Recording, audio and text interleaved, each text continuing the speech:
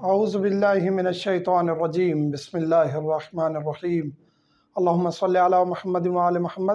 مومنین کرام، ایک سوال پوچھا جاتا ہے کہ کیا خاتون اپنے شوہر کو، بیوی اپنے شوہر کو مباشرت سے حق کے زوجیت ادا کرنے سے منع کر سکتی ہے، قریب آنے سے منع کر سکتی ہے یا نہیں؟ جو پہلی پہلی سچویشن ہے وہ یہ ہے کہ اس کو اختیار نہیں ہے، اس کے لیے جائز نہیں ہے کہ شوہر کو وہ مباشرت سے منع کرے۔ کن صورتوں میں وہ منع کر سکتی ہے یا حرام ہے مباشرت؟ وہ چند چیزیں ہیں۔ پہلی تو یہ ہے کہ حیض کی حالت میں مباشرت جائز نہیں ہے۔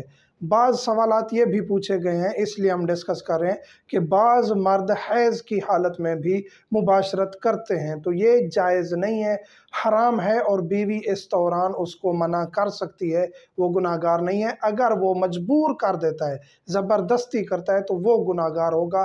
بیوی گناہ گار نہیں ہوگی، لیکن یہ انتہائی خطرناک فعل ہے۔ حیض کے دوران مباشرت جسمانی لحاظ سے بھی اور شرعی لحاظ سے بھی وہ گناہ گار ہیں، تو اس دوران بیوی حیض کے دوران منع کر سکتی ہے۔ اسی طرح نفاس کے دوران بچہ پیدا کرتی ہے، اس کے بعد دس دن نفاس کے ایام ہوتے ہیں، اس دوران بھی مباشرت جائز نہیں ہے۔ اس کے بعد حالت احرام میں احرام میں ہے، مرد ہو یا خاتون، اس دوران مباشرت کیا بوس و کنار کرنا بھی جائز نہیں ہے۔ تو جو میاں بیوی حج یا عمرہ کرنے جاتے ہیں، تو حالت احرام میں اجتناب کریں ایک دوسرے کے بالکل قریب آنے کے۔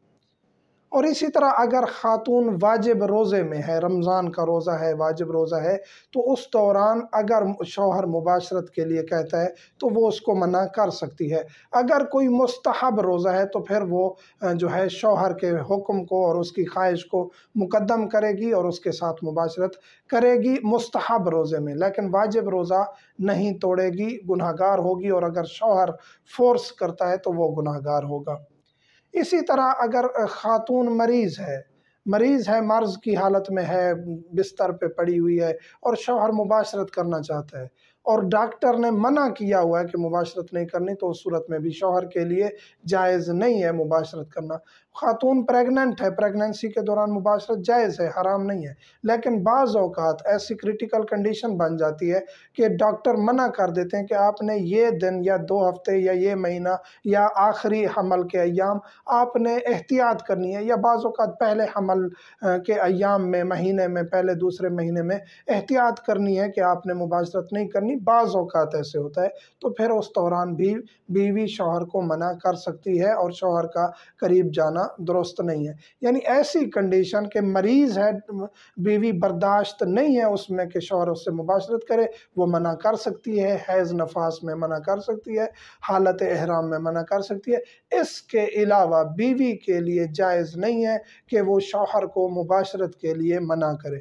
تھکی ہوئی ہوں جی میرا موڈ نہیں ہے۔ آپ کا موڈ اگر نہیں ہے، پھر بھی آپ شوہر کی رضا میں راضی ہو جائیں اور آپ اس کو خود کو تیار کریں، آمادہ کریں اور شوہر کی رضائیت حاصل کریں۔ یہ آپ کے لیے ضروری ہے۔ چاہے آپ کے لیے تھکاوٹ بھی ہاں اگر آپ ریکویسٹ کرتی ہیں ریکویسٹ کریں کہ جی طبیعت ناساز ہے، تھوڑی سی تھکاوٹ ہے کام کاج کی وجہ سے، تو آج مثلا کہ آپ مجھے ریلیف دے دیں اور اپنی خواہش کو اگلے ٹائم یا کل تک یا پھر کسی وقت تک مؤخر کر لیں۔ اگر شوہر راضی ہو جاتا ہے تو ٹھیک ہے، اگر راضی نہیں ہوتا شوہر اور آپ کی تھکاوٹ اتنی زیادہ نہیں ہے کہ آپ کو مرض کی طرف لے جائے گی اگر آپ کو شوہر مباشرت کے لیے آمادہ کرتا ہے۔ تو یہ تھکاوٹ یا چھوٹی موٹی چیزیں یا اصل ایسے بعض خواتین جو ہیں وہ بہانے بنا لیتی ہیں اور شوہروں کو قریب نہیں آنے دیتی، تو یہ کرنا جائز نہیں ہے۔ یہاں سوال ہو سکتا ہے کہ بعض اوقات شوہر جو ہے وہ قریب نہیں آتے۔ بیوی تیار بھی ہوتی ہے، خود کو آمادہ بھی کرتی ہے، لیکن شوہر قریب نہیں آتے۔ وہاں پھر مرد حضرات سے گزارش ہے کہ اس کی خواہش پوری کرنا آپ کی ذمہ داری ہے۔ ہاں اگر شوہر کا موڈ نہیں ہے، لیکن بیوی اس کو فورس نہیں کر سکتی یا بیوی اس کو زبردستی اس چیز پر نہیں لا سکتی، اور یہ شوہر کے اوپر گناہ بھی نہیں ہے کہ شوہر نے اگر انکار کر دیا ہے تو۔ ہاں البتہ بیوی جوان ہے تو پھر آپ کہیں سفر پہ بھی جاتے ہیں تو چار مہینے سے زیادہ آپ بیوی سے دور نہیں رہ سکتے۔ تو یہاں پلڑا جو ہے وہ برابر رکھنا چاہیے۔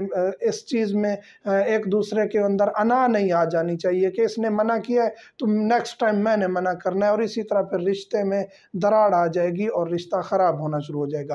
بیوی کو چاہیے کہ خوش رہے تیار ہو کے رہے، شوہر چاہتا ہے کہ بیوی میک اپ کر کے، آمادہ رہے، زیب و زینت کر کے، اچھے کپڑے، ہر چیز کر کے رہے، تاکہ شوہر کا دل اس پہ لگا رہے۔ اور بعض اوقات خواتین کہتی ہیں جی میں بہت سگڑ خاتون ہوں اور میں گھر کے کام کاج، کھانا پینا، ہر چیز میں پرفیکٹ ہوں۔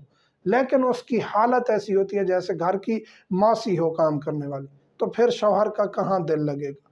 آپ ہر چیز میں پرفیکٹ ہیں، یہ چیز بھی آپ کے لیے ذمہ داری ہے اور آپ کے اوپر واجب ہے کہ شوہر کو خوش کر کے دکھائیں اور اس کے لیے زیب و زینت کرنا ثواب ہے اور اس کے لیے خود کو تیار کرنا کہ وہ آپ کے لیے تیار ہو کے اور آپ کو دیکھے تو خوش ہو جائے یا مباشرت کے لیے تیار ہو جائے یا خود کو پیش کرنا مباشرت کے لیے، یہ باعث اجر و ثواب ہے۔ ممنین سملتمس ہوں ہمیں دعاوں میں یاد رکھا کریں۔ الحمد للہ رب العالمین۔